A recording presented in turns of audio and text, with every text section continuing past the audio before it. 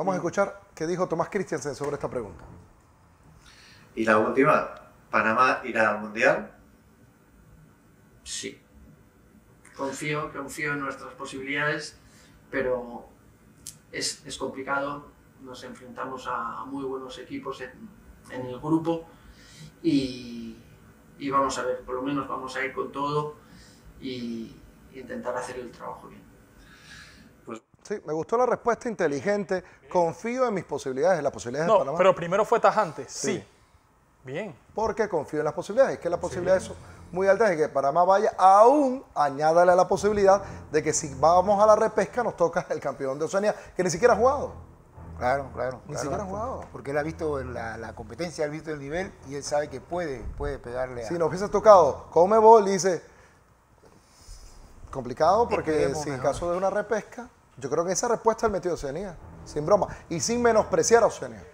Pero él dice, nosotros como estamos debemos ser superiores a ellos. Así es. Y más a un solo partido. Y más a un solo partido. Porque Nueva Zelanda hizo el repechaje con quién fue en la pasada? Con Perú, justamente Perú. Con Perú. Ida y vuelta. Ida y vuelta, y ese ida y vuelta es Sí, complicado. lo mató. Bien, habló de los jugadores buenos de Panamá. Vamos a escuchar qué dijo el técnico de la selección nacional, nacional Tomás Christiansen, al diario español Mundo Deportivo. Intentar conseguir.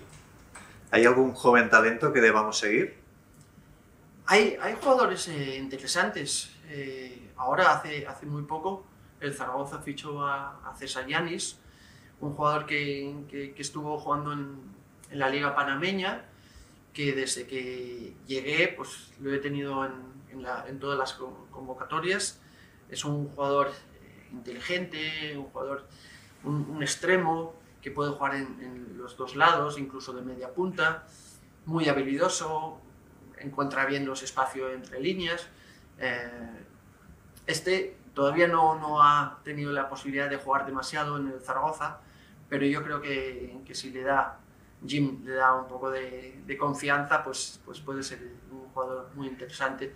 Y tenemos también a, a Joel Bárcenas, que está en el Leganés, tenemos a- al Puma Rodríguez, que está en el Sporting de Gijón.